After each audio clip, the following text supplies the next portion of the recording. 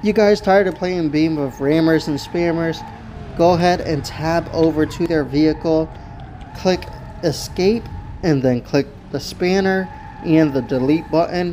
You're going to see a gray ball. That means they are removed from your session. All you got to do after that is tab back over to your vehicle, start it back up, and you are good to go. It's that simple, guys. If you're looking for more tips with BeamNG or drifting in general, make sure you drop a comment, leave a like, and subscribe if you haven't already, and I'll catch y'all in the next one. Peace.